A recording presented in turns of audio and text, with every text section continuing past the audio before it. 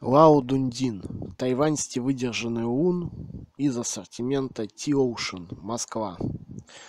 Аромат сухой заварки на прогреве дыханием.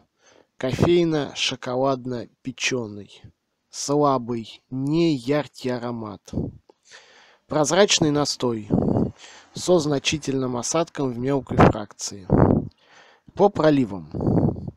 Завариваем два с половиной грамма сухой заварки, как обычно, на 100 миллилитровую китайскую фарфоровую гайвань.